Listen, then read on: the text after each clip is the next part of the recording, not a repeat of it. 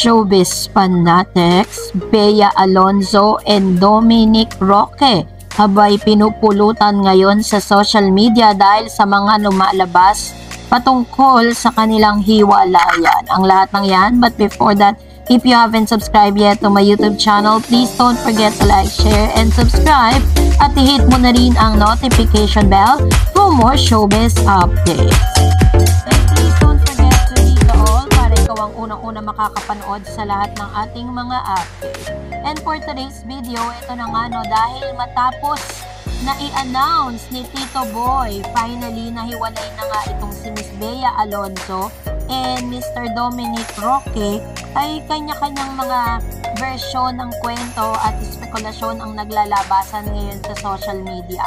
Isa sa pinakamalala nga na fake news ba or legit ba ang balita na ito daw di umanong si Dominic Roque ay nauugnay sa mga scammer dito sa Pilipinas. Sabi dyan, negosyanteng Cebuano dinadawit na naman sa pangalan ni na Dominic at Bea Alonzo. But kaya sa Cebu nag-umpisa ang kwento ng breakup ni na Bea Alonzo and Dominic Roque. Bago pa ito kinumpirma ni Tito Boy Abunda, kalat na di umano ito sa Cebu at ba't kaya nadadawit ang isang kilalang personalidad sa hiwalayan nila ng taga. Samantalang humamig ng 4,000 shares ang repost ni Dominic Roque kasama si Bea sa reels na ito. Last October ang nasabing reel at sweet pa sila nun.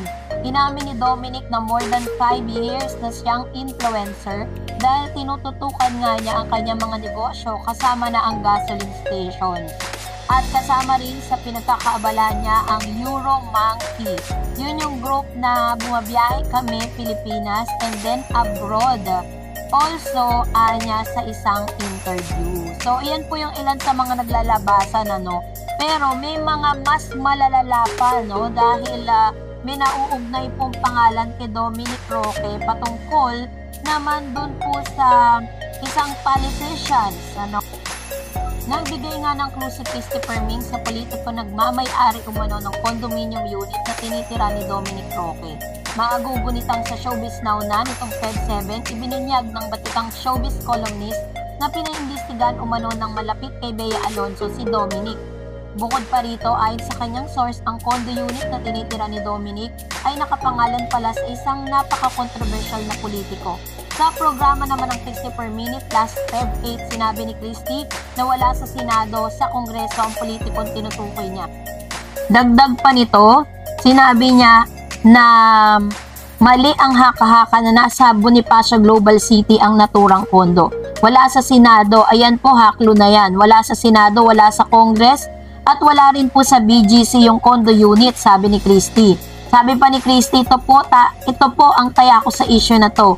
Kami po ang naglantad nito. Alam ni Dominic Roque na hindi nag-imbento ang kwentong ito. Alam ni Dominic Roque na totoong may pangalan ng politiko na dapat sambitin sa isyong ito. Alam ni Dominic Roque kung sino ang may-ari at kanino kapangalan ang condo unit na mamahali na tinitira niya. Alam ni Dominic Roque na siya ang dapat magpaliwanag at magbukas ng at hindi kami. Yun ay ang taya ni Rito. Saka sa daming sources, kalat na kalat ko. Alam mo, Dominic Roque, na mayroon kang kailangan sabihin. Alam mo na mayroon kang dapat linawin, sabi pa niya. Patuloy pa niya, hindi naming sinasabing karelasyon mo yung politiko. Wala kaming sinasambit kahit ano. Pero ang pagpapaliwanag para maliwanagan ng mga nag-iisip sa iyo ay dapat manggaling sa iyo at hindi sa amin. So ito po ang ilan sa mga sinabi or statement ni Ms. Christy Permin patungkol sa politikong nauugnay sa pangalan ni Mr. Dominic Roque. But this time, ito po yung mga version of the story na kung saan ito daw di umano ang naging dahilan ng hiwalayan. Panoorin po natin ito. Eto na! Mars! Ano yung chika natin dyan? Kumapit ka na!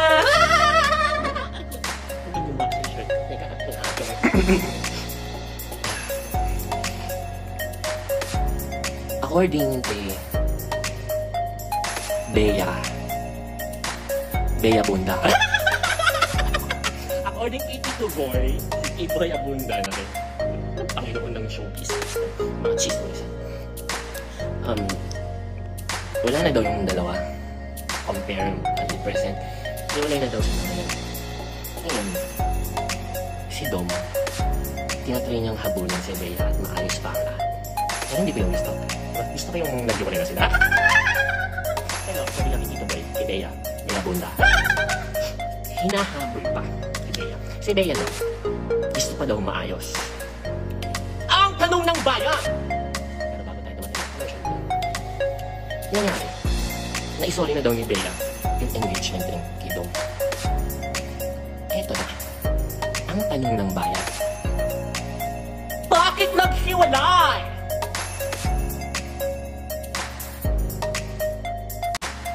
Daming sources eh. Ang, ang mabigat doon, mga nasagap kong sources for the last 71 hours. Ano pala? 73 hours. Puros mga celebrities pa, artista yung nag-spook sa akin. So ngayon, bilang pinagsabihan nila, kinumpile ko ang chika. Ito na. Ito pa lang si lalaki. Lalaki na lang tayo, baka malibel eh. Siyempre, di ba? Ito pa lang si lalaki.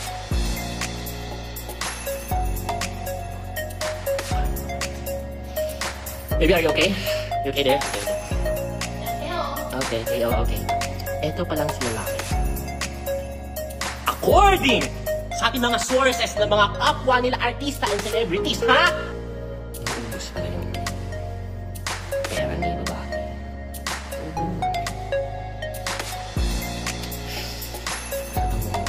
Well, sabi nila, pag tulang, gagasusan mo talaga, no? Yan ang sabi. Na daw. eh. Lahat na lang daw si babae. Yan ang sabi ng mga artista. Hindi natin alam. Yung dalawa lang talaga nakakaalam yan, ha? Tapos pati ba yung nanay ni babae napapaikot-ikot sa? Eh, ialis ko yung eyeballs ko para kunyari.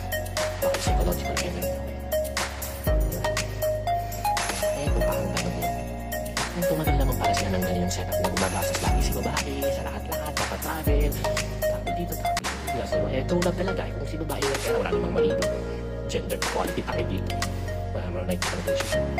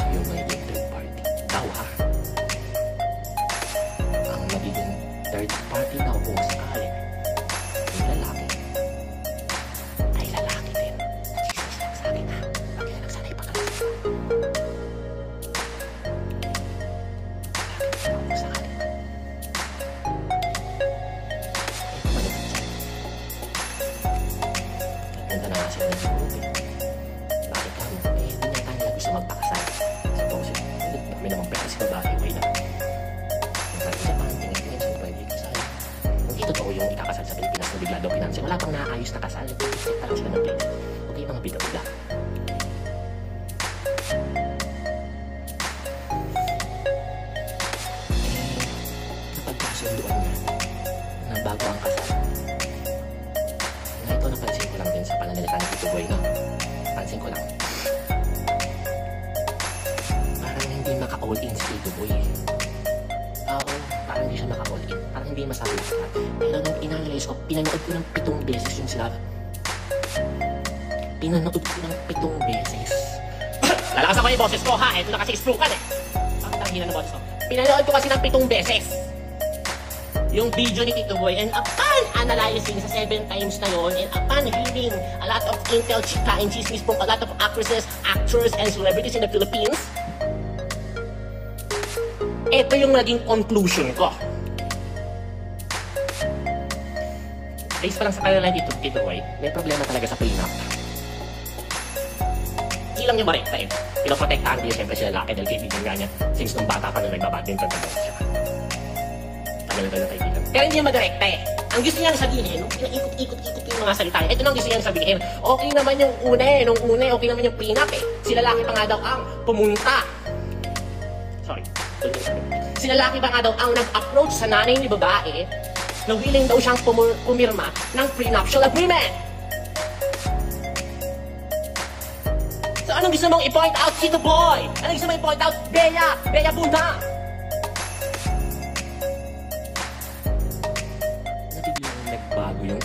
Ng hangin. Biglang nung magpipirmahan na ng prenup, ayaw nang pumirma ng lalaki. At bakit? What if, Mars? What if? Yung pag-approach ng lalaki sa nanay na babae na willing daw siya puno noon para na pumirma ng prenup, ay play lang pala. What if, if this, what if, no, bilang isang marites, what if ito pala isang malaki ng, isang, pla, isang parte ng malaking master plan? Man ng chismis itong si Sian Gasa na si Dominic naman. Roque daw ah, Oo. ay associated or BFF O, ah, Nino. ah, ng ah, ni Christiana Collins. Kilala mo si Christiana talaga Collins? nitong bata. Si Christiana Collins Mare ay isang ah, vlogger. Ayan. Christiana Clor, ano? Christiana Collins. Sino siya? Isa siyang vlogger Mare, isa siyang ah, YouTube vlogger. Na? Ayan. ah, Imported na- o dito? Pilipina. Pero Pilipina. oo, ang ah, kanyang ama ay ah, Oo. foreigner. Ah, okay. Ang family niya Mari daw ay involved sa isang multi multi-million ayan na, na travel agency scam na ang pangalan ay hindi na natin papangalanan dahil ah, kasalukuyan Mari na dinidinig pa Ah, yung kaso oo. dahil may mga nahuli ng ano may mga nahuli ng ah, ng QCPD Mm. na sangkot dito which is Correct. yung mga ano yung mga empleyado nila. Oo. Ayan Mare, ayon kay uh, Sian Gasa Mare, Oo. nagamit daw nila, nagamit daw nitong si Dominic Roque at Oo. ng kanyang kaibigan na si Cristiano Collins, si Bea Alonso Oo. bilang connection daw. Sa? Bilang connection daw nila upang makainganyo ng libu-libong mga investors. Oh. At di umano mare, Oo. itong chika ni Sian Gasa, Oo. ito daw ah, ito daw pamilya nitong si ano, nitong si Cristiano Collins ay ah, siyang nag-udyok kay Dominic Roque Na? wag permahan Ah. itong prenuptial agreement. Ay, talaga ba? Yun ang chika nitong si Dominic Ro- ay ni ano Sian Gasa. Ano ba talaga? Ngayon Mare, I did uh, a uh, very short uh, Research. research kung Oo. totoo nga ito. Mm. And uh, napag ano napag-alaman ko Mare na totoo nga na nag-exist Oo. yung uh, travel agency na talaga namang kumilim kumilimbat. Ano Oh? ba? So, ibig sabihin, scammer talaga? Yes, may scamming na naganap Mare. Ay. Ayan. Bakit nadidikit doon pangalan nito? Bakit doon sila nag-book? Yun na nga Mare. Ang Oh. sabi nga doon Mare, sabi ni Sian Gasa, Oh. eh kaya daw ano, kaya daw nagkaroon ng scamming Oh. kasi ginamit daw nila yung pangalan daw or connection Oh. nitong si Bea Alonso upang makahikayat ng libo-libong investor. Well, di ba? O, hindi naman, alam mo yon doon sa punto na yun siguro when it comes to scamming, Hmm. di ba? Siguro yan yung kayang patunayan din ni Sian Gasa kasi 'di ba gawain niya 'yon. 'Di ba? Scam. 'Di ba? Ang dami niyang kaso na Actually ganun. sinabi niya yun Mare. 'Di ba? Ang mga You should know. Oo. 'Di ba? Kaya marami siyang mga kilala. Sabi ng ano, sabi pa ni Sian Gasa Mare, Oo. hirap na hirap ang mga biktima because Collins family Oo. has powerful connection sa PNP at NBI. Naku, nag-drop pa ng ano, Ay, ng kaya- government a- Kaya pala si agency. Sian ngayon sa ibang bansa. 'Di ba? Nagtatago. Oo. Kasi walang ano. Oo. At saka hindi ako naniniwala Mare na ang ano ang ah, ah, government agency na ano ng lalo na ang NBI at saka PNP ay kukonsintihin nila yung mga ganitong bagay. Correct, hindi ba? Tsaka isa Diba? pa, di ba? Unang-una dyan, di ba? Oo, when it comes to scamming, siguro sa aspeto na yon meron. Kasi sabi nga nila, it Mm-mm. always takes one to know one. Mm-mm. Di ba? So, kasi nasadlak siya sa ganyan eh, sa scamming, Oo. di ba? So, alam niyo siguro yung kalakaran. Pero yung sa aspeto na paniniwalaan ng tao na nagamit si Bea Endoma, Oo. siguro parang, alam mo yon yung mga gutom lang yung maniniwala kay Sian Gasa, yung mga nalipasan ng, alam mo yon Mga disipulo. Oo. Yung mga nalipasan ng gutom, yung mga walang tulog, Ayun Mare. yung mga kumuha ng ah, hindi quality. Correct. ganyan. Uy, hindi lang yun ang umusbong Mare ha. hindi kumuha ng quality. Hindi ba Kaya nga ano? Hindi ba nga bet nga ni Sian Gasa na mag na i, ano, Na? illegalize yung ah, Ano? marijuana dito sa Pilipinas? Dami niyang alam. Harapin niya muna yung mga kaso niya dito, di ba? Na nakakal- Kaso nga niya dito sa Pilipinas, hindi niya maharap ng isa-isa eh. Tapos magpapalaganap ka ng ganyang panawagan. Uy, pero alam mo last year, Oo. speaking of scam, Oo. pumutok din ang balibalita, hindi lang ito talagang nag-surface, Oo. Mari eh. Oo. Pero merong isang application Na? kung saan ah, ginagamit ng mga vlogger, Oo. ng mga influencer Oo. and ah, celebrities Oo. ah, kung saan ah, naghikayat sila Mare na gamitin itong ah, application na ito Oo. at pinost nila sa social media nila yung link. Mare, meron tayong mga nabasa dyan sa Reddit Oo. ah, na na-scam ng 67,000 at na-depress. Alam nyo. Inutang pa nila yun, Mare. Correct, di ba? Ngayon, ang mali doon, Mare, Mm. ang nakakaloka doon, yung link na yon ay pinost ni Dominic Roque Oo. sa kanyang Facebook page. Ah. Oo. So parang doon siya nadama. Yes, isa pa yun, Mare, na nadadamay siya. Ngayon, Mare, speculation ngayon ng mga netizen na Oo. baka kaya ayaw ng pakasalan ni Bea Alonso Oo. si Dominic Roque dahil nasasangkot nga ito sa mga ganyan at Oo. associated siya sa mga ganitong klase ng tao. Oo. Ayun ay haka-haka lamang dahil hindi rin natin alam. Alam mo, Mare, ako. Alam mo, Mare, di ba? Ito Oo. lang din ang masasabi ko. In fairness naman to Dominic Roque, di ba? Mm. Ngayon na nanahimik siya. Kahit na sinong artista, hindi si Dominic. Sige, may ma- Dominic Roque, bait-baitan lang. Nabukting na kasi siya ni Bea. Daniel Padilla, walang planong makipagbati kay Dominic Roque. Sabi ng isang close kay Bea Alonso, tama na ang drama. Kapag ayaw na, huwag nang pilitin pa. O eto naman, bangkaan mo naman itong bait-baitan issue tungkol kay Dominic Roque. Oh, Naku, eto, naku, eto na nga to si Dominic Roque, di ba? Dahil sa ah, sinanggalang niya ang kanyang sarili para wag mabash si, Le, si Bea Alonso na, siya, na Ah. parang huwag siyang ibash. no parang bashing, No bashing. ah, no ma- bad words. Beautiful Ah, inside and out. Parang iisipin mo, bakit niya ginagawa ang mga bagay-bagay sa kabila ng kahihiyan niya ang nakasalalay dito? Di ba, Nanay? eh kasi nga, sabi ng mga netizens, lalo ang mga bashers, isa pa to, isa pang issue ito na nakakatawa, di ba? Hoy, sabi niya ron, Dom, tumigil ka na. Tama na ang mga paawa at bait-baitan effect mo. Nagawa mo na ang lahat. Tama na. Sabi ganon. Huwag ka na magbait-baitan, halatang halata ka naman na nabuking ka lang. Parang ganon, di ba? Oo, oo. Mhm. Kaya yung mga tao, ano ba yan? Pabiktin na ito ha. Pabiktin na parang Diyos ko, pinuputakti ang buong newsroom ng tanong kung sino ang politiko. At eto pa, sabi ni Dan Clavesillas, mabuti po na si ex-husband eh kahit pre-love na, eh nung binitiwan niya, hindi pala...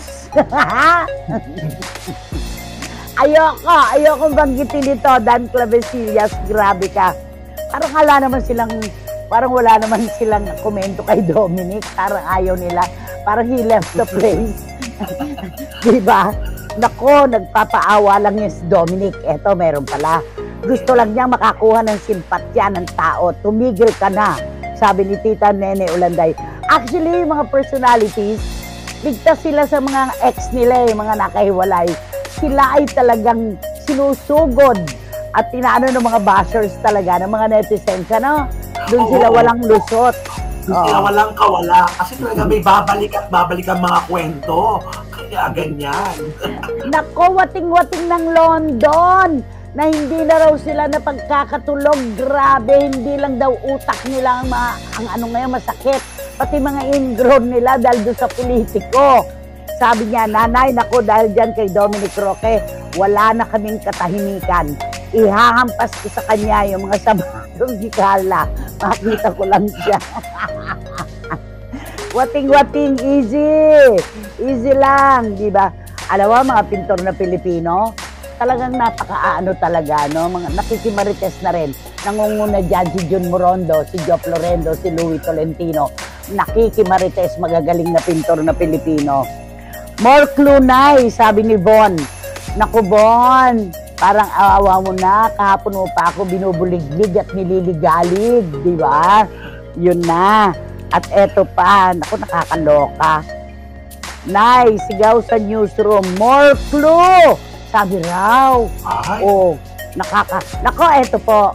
Meron pa pong ibang politiko, ibang mga politiko na tumawag sa akin kanina. Dahil ang kanilang, da- ang- dahil ang kanilang sinasabi, Nanay, sabihin mo na kahit clue lang, kahit ano lang, kahit initials lang. Pero bakit po ganun? Ang laging hula, yung yung double-double ang letra at saka yung isang batang-batang politiko. Ba't ganun? Oo. Direct Meron nga sa Rani TikTok. Zamora, bakit ganun? Oh. Sa TikTok mo, eh, grabe, yung, di ba, kinuha niya na tayo, tapos may picture. Sabi ko, Malabo raw, malabo, hindi kilala. Oo. Tapos Oo. meron iba, iba-iba, iba-iba kung sino-sino mga nilalagay nila, kawawa naman. Oo, yung mga nabibiktima, kawawa naman. Dominic naman, maawa ka, originality, tama na ang pagpapaka-prude. Huwag nang magpaawa kuning-kuning, ala na, bukelya ka na eh, sabi ni Boy si Karagay. At sabi ni Miss Nags, na yun pong two days na cry day, eh makakapagpahinga rin ang aming utak ka, iisip kung sino yung politiko. Todo brainstorm na po kami ni na wating-wating at Iram kahapon. Oo, alam mo nagpe-FaceTime sila, naghuhulaan sila kung sino talaga yung politiko. Grabe, grabe. Naku, ikasisyak nyo po. Mula ulo hanggang paa kapag nalaman nyo, di ba naman Romel, kung sino yung politiko. Ikasisyak nyo po talaga. Grabe, Oo. grabe. Nung nag-ano nga tayo, di ba nga sabi ko sa'yo, ha? Hindi Yun na. di ba? Yeah! Meron ba tayo? Oo. Yeah! Di ba? At more clue sa politician na Nag-brainstorming kami kahapon ng mga tala angels. Ang sakit sa ingrown, sakit sa bangs. Alam mo, yung tumawag na politiko sa akin kanina, isa lang ang sabi niya, hindi ko alam na eh. Dapat nagsesesyon kami. Pero ang pinagkakabisihan, kilala mo na ba kung sino yung politikong involved sa hiwalayan ni Bea at ni Dominic? Mga ganun daw. Di ba? Kakalokads ko. Ay, nako. Eto, Tita Julie Paras, ituloy mo na ang dapat mong gawin. Huwag mong asahang madudulas kami. Eto, sabi niya, Ate Teng, kanina pa ako chuchu na chuchu, pero pinipigil ko. Baka kasi madulas ang dila mo kung sino ang politiko, ayokong mangulelat sa pasabog. Naku, ituloy mo na yan, Tita Julie. Wala kang maaasahan sa ngayon. O, di ba? Okay, Daniel Padilla na tayo, anak. Alam mo naman na hinihintay.